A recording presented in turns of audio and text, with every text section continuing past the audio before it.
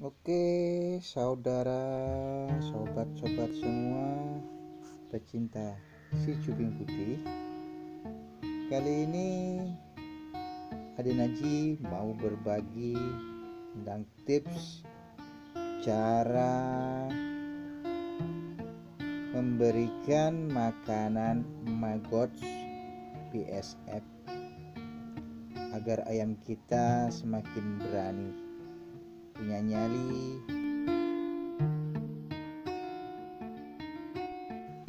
Membentuk karakter yang berani menghadapi keadaan.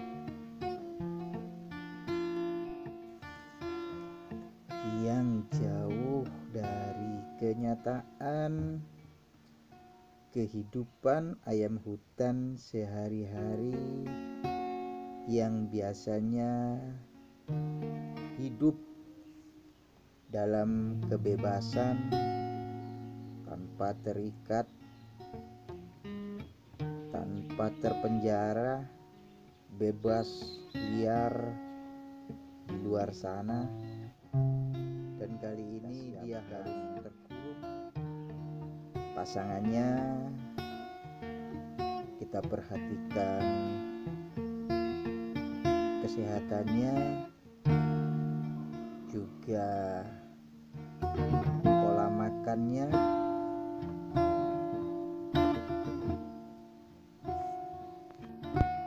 Ayamnya lari-lari termuter untuk mendapatkan kebutuhan dan kesenangan seperti ini dibutuhkan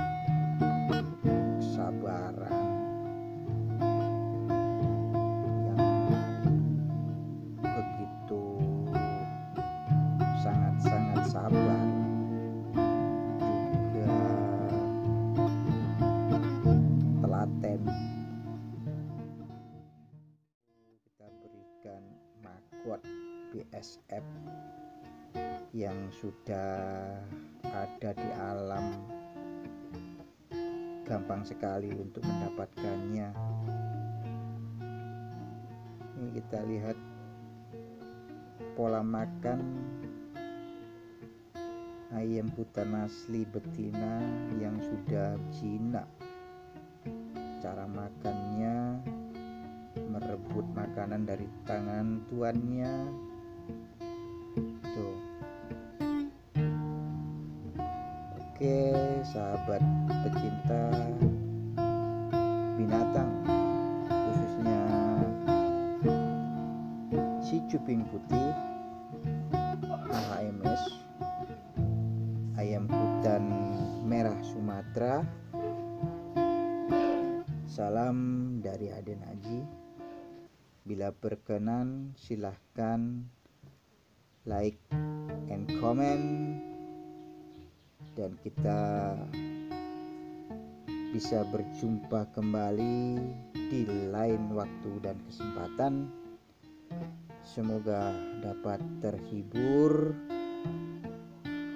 kita bisa berjumpa lagi di video-video yang mendatang semoga tayangannya semakin oke dan semakin bagus dan bisa untuk menjadi motivasi bagi penggemar dan pecinta ayam hutan merah Sumatera. Baik dari Aden Aji, kami mengundurkan diri dan salam cuping putih.